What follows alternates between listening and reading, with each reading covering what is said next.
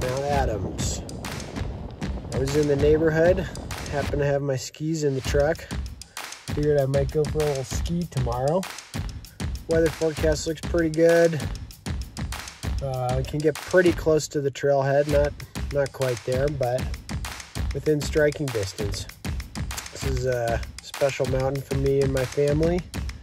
First big mountain I climbed in with my little brother. And uh, yeah, it'll be fun to be here with some modern equipment and uh, should be sweet.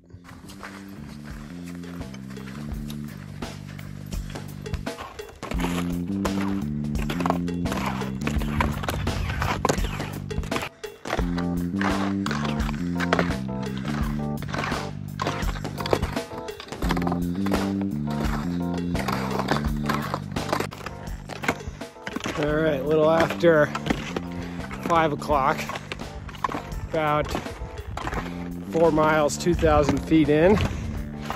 You're going pretty good. It's a cloud on the top of the mountain.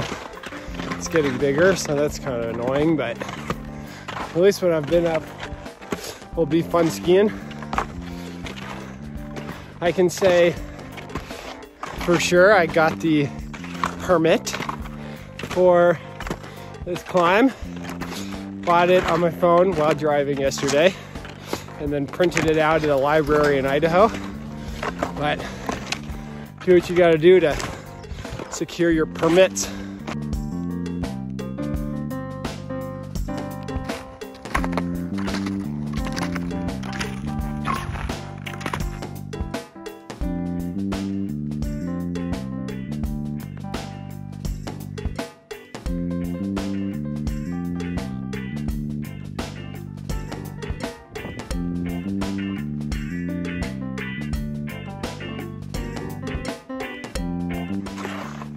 Just about to the lunch counter.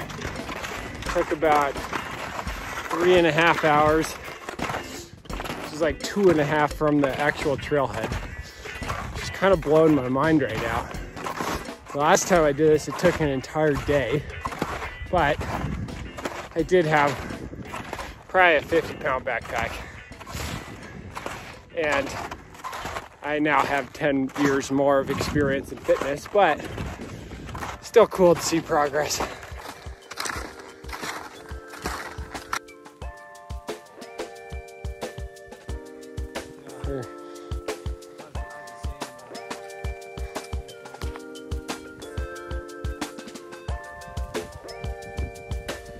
Okay, made it up to the false summit, the Piker's Peak, the beginning of the ski run, but it's only 8.23 a.m. I'm a good four hours ahead of schedule. So I think we'll go for the summit. Um, keeping myself on a tight leash and if any clouds come in or then I'll just turn around. But I think I got a lot of time to wait for the corn, at least up high. But so far this is absolutely delightful.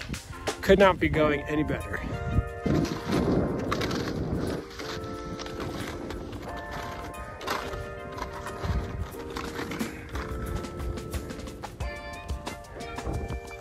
Summit of Mount Adams.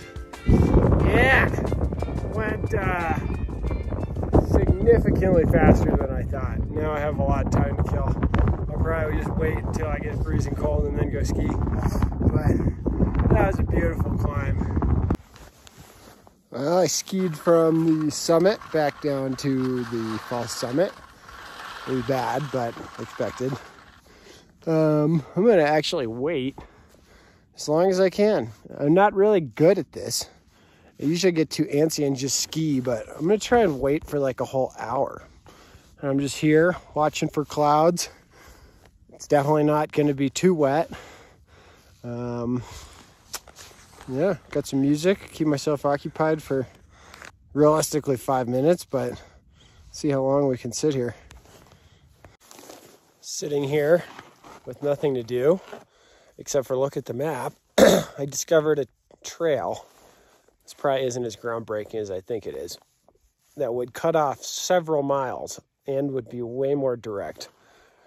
Back to the car. The question is do I do this alone and potentially have heinous deadfall bushwhacking, which is not something new to me on this mountain.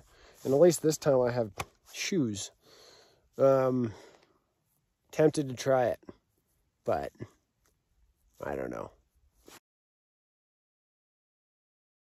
Too bored, and I see clouds, so so yeah.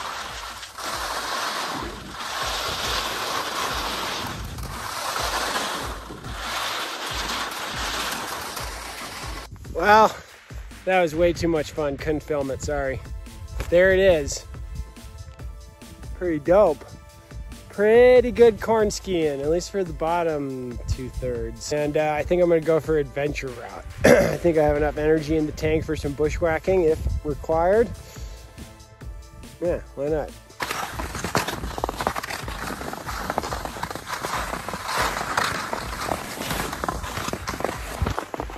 Ah, not bushwhacking. Excellent skating.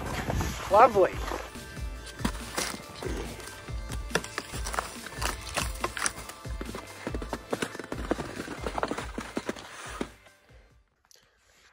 Well, I got within one mile of the car.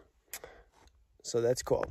Um, but now it does begin actual bushwhacking. Might be kind of a gnarly mile, but whatever. I just skied 7,000 feet of fall line, so that's rad.